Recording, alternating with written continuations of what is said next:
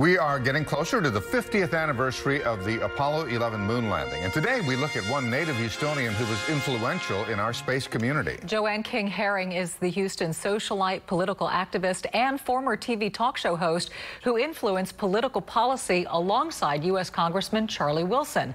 Julia Roberts portrayed Herring in the Hollywood movie Charlie Wilson's War. Tonight, as she celebrates her 90th birthday, Herring talks about her memories of the space program. Our Lauren Freeman has more.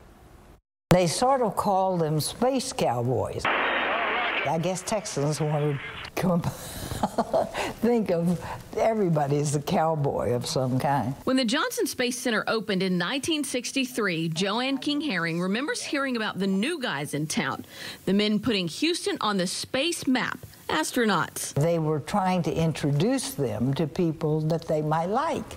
And so for some incredible reason, they thought I fitted that. So I met them and they just looked like a bunch of ordinary men to me. But her opinion quickly changed. But then when I met them, I changed.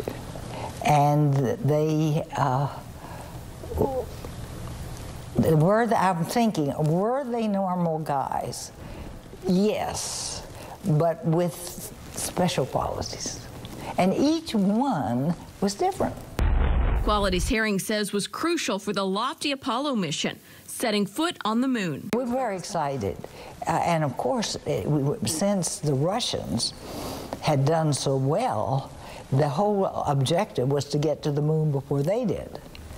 And the, the whole country uh, was intent on having that happen. Herring continued to work with the space community through the years, even hosting a reunion of the Mercury astronauts on the 25th anniversary of the first U.S. manned spaceflight back in 1986. And she became friends with some of them, including Buzz Aldrin and Alan Shepard. Alan Shepard was very smart. And he became quite a good businessman. All of them did well, I think, in later life. But Alan stayed in Houston. Men who accomplished amazing feats five decades ago.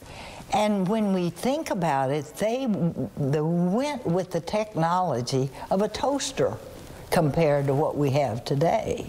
Lauren Freeman, KPRC, Channel 2 News. And our former colleague, Joanne, uh, plays a big role in our 70th anniversary too. Right That's now. right.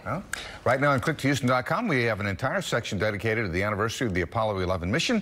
It includes how NASA has changed Houston over the years. Go to click2houston.com slash Apollo. Joanne's a remarkable woman, just Isn't like she? the astronauts she mentioned. Yeah, she really mm-hmm. is.